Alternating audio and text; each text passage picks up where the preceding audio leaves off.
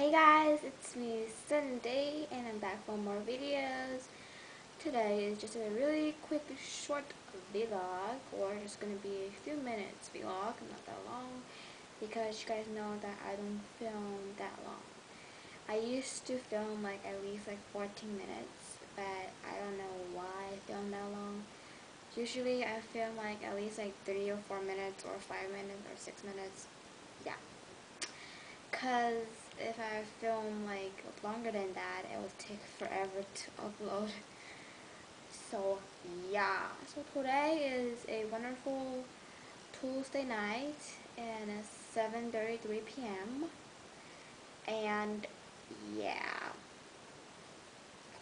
I just finished my homework and right now I'm on my laptop. My laptop is right next to me and yeah.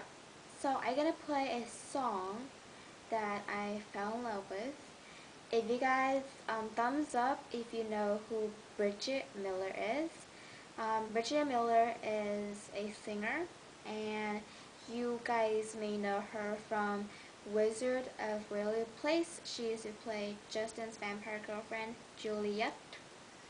And now she's in a show called Good Luck Charlie. Yeah, and I love her. Gosh, I love her. Okay, um, comment below if you like her as Julia more or you like her as Charlie more. So comment below. Mine, mine is Juliet, always. And um, I fell in love with her song because she performed this song on the X Factor. And it's called Ready or Not, and I'll play a little bit for you guys.